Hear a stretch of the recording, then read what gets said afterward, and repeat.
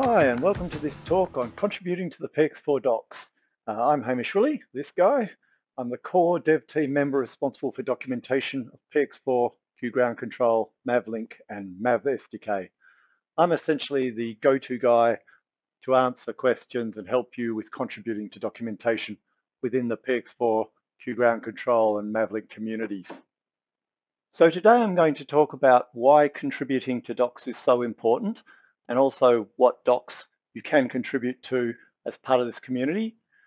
I'm going to explain how you can help, what documentation you can improve, what sorts of things need fixing.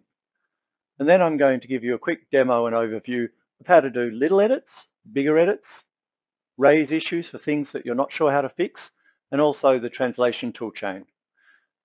Everything I'm covering today is also in the documentation, of course, under contribution documentation. Contributing to the documentation is really important because it saves time and effort overall for the project. It allows us to retain information uh, once developers leave. It allows us to onboard new developers and answer questions without having to go back to the core development team every single time. And also it allows us to highlight the features uh, that we're inventing so that people can come and use them uh, which they can't do if they don't know about them. So when I refer to the docs, what do I mean? Uh, essentially this set that you can see on the screen, uh, the PX4 user and developer guides, the QGC user and developer guide, and the Mavlink and Mav SDK guides. Uh, these all use the same Gitbook legacy toolchain to compile text files written in Markdown into HTML. Uh, the source files are stored and managed in GitHub, just like application source code, and this gives us a really reliable way of managing bugs and contributions. If you're wondering how you can help, the best way that anybody can help is not to ignore any problems that they see. So if you see a broken link or a spelling error or a grammatical error, then please fix it.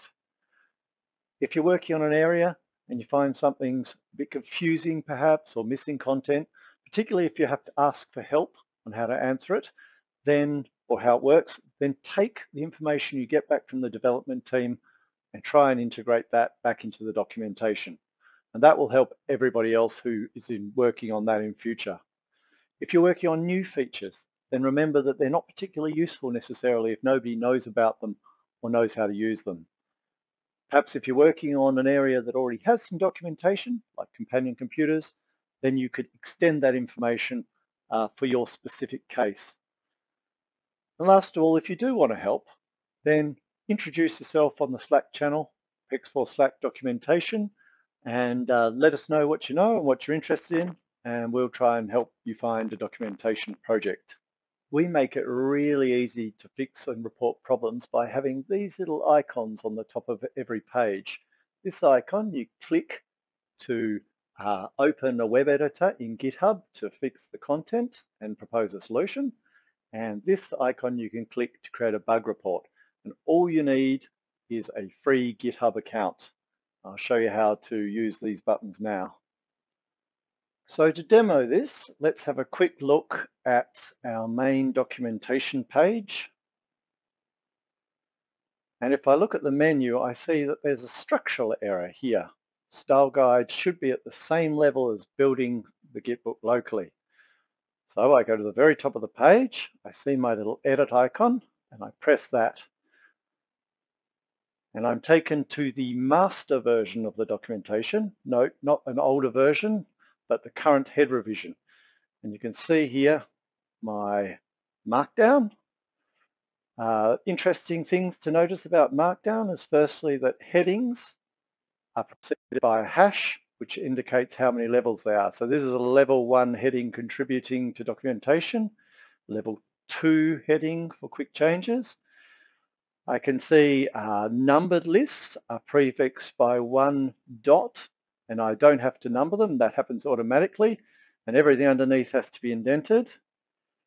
I have this note, anything that's formatted with an, a caret and bold it says note or tip and then some text will be rendered as a pretty uh, note box in the main version. Bullets. They're simply done as asterisks. I can use three backticks to highlight code.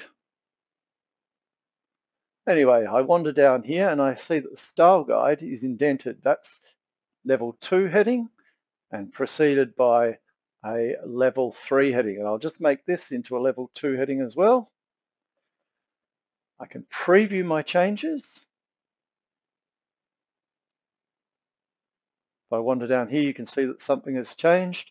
If I change some words, I would see uh, the changes highlighted, what was removed and what was added. Now at the bottom, I have a commit message that I have to add. Now it's important here to add something short and concise that helps people understand what change was made. So I'm going to say contributing docs, uh, fixed up heading levels.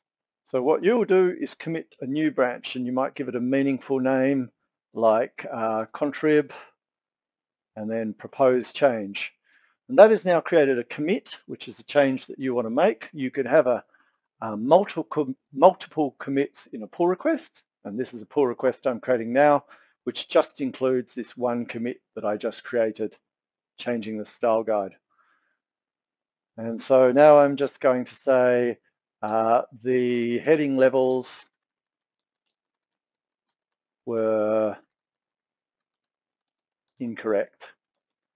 I create that pull request and then I will hit squash and merge. And that change has now gone live into the master branch. And in about 10 minutes, this will rebuild with style guide at the same level as these other headings. Now, that was making a quick edit. It really is as simple as that. You make the, you click the button, you make the edit in the page, you create a meaningful commit, you create a meaningful PR statement, and then you press submit and it gets reviewed. If you're not sure exactly how to fix the page, then you can instead create a bug report. And you do that by pressing the little bug item on the top of every page. That opens an issue report, which has a link back to this particular page. So all you do is you update with a detailed explanation of the problem and possible solutions, and then select Submit New Issue. Uh, doing quick edits in GitHub is great for fairly small changes and contain changes that only affect one page. Uh, but if you have changes that are going to affect a number of pages, or you want to change images, then it's much easier to download the source, modify it locally on your computer, and then re-upload it. Uh, you can do those sorts of things on GitHub if you want, uh, but it's a lot more fiddly. There are instructions for all of these things in the dev guide under contribution, documentation, and the sections get push documentation source code, and also building the Git boot locally. I'm going to show you how to do this on Windows next. It's the same for Ubuntu and Mac OS, uh, just the dependency installation's a little different. Uh, and because the downloading is all a bit slow, I'm going to do it in faster than real time. In order to make our larger edit, we need to get the source down to our computer. And for that, we're going to need the Git tool, which we can get from gitscm.com. And there are download packages and instructions for the main operating systems. We're also going to need to download and install node.js from nodejs.org as we require that to use Gitbook. Now to get the source, we go to the library we're interested, in this case the dev guide, and up the top of the page uh, there is the GitHub button, which we click, and that takes us to the main repository. Now we could just duplicate this repository, but for managing change, what we do is we fork it by click, clicking the fork button. This takes a copy of the whole repository under your own area, and I've already done that under Hamish Fully Dev Guide. So this is my copy of the main documentation set, and I'm going to get it down to my computer by cloning it. So click clone button, then click this to copy the URL, git clone, and that URL I just copied. Now I enter that directory and I am going to do what's called creating a remote. And that remote is a pointer to the original documentation set. And it's going to be here called upstream. So it's git remote add upstream and then the URL. Now I need to do this because I'm about to make a change and I want to make that change to the very latest version of the documentation, not whatever I happen to have in my copy.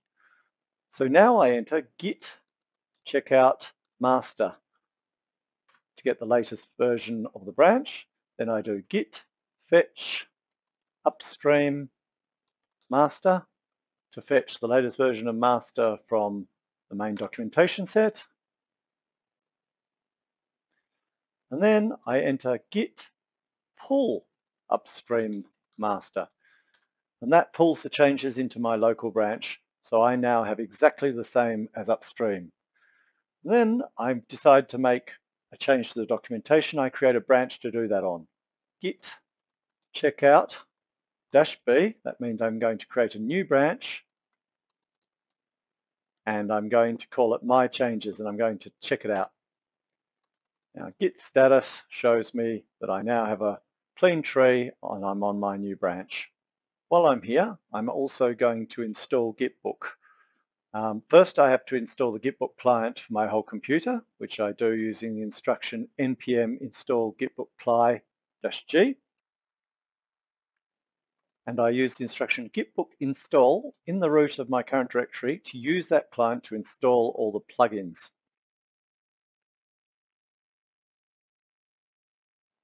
After Gitbook client has installed all the Gitbook plugins in my particular library, the dev guide, I can now serve it to view what the rendered version looks like by typing gitbook serve.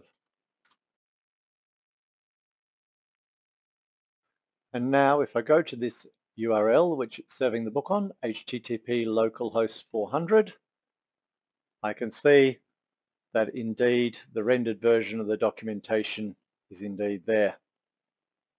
Now let's have a look inside our dev guide clone.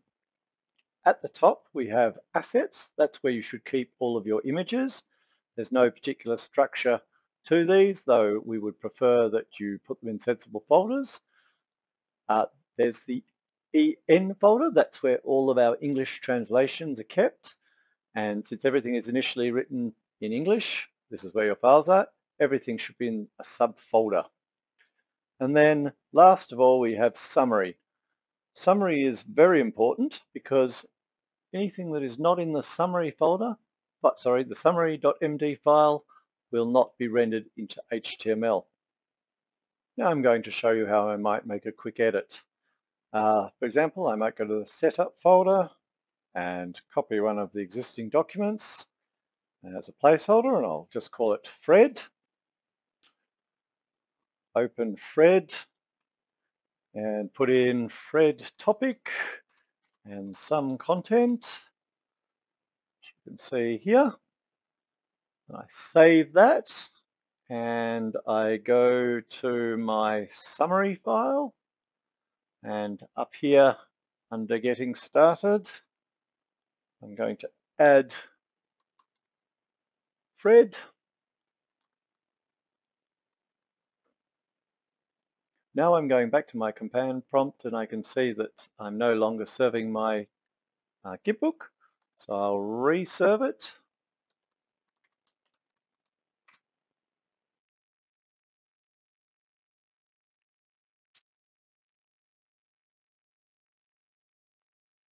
And now I can go back to my localhost generated version of Gitbook. And if I open getting started, I can see my new document Fred has appeared in the sidebar. So now I exit out of Gitbook and I go Git status and I can see my changed documents.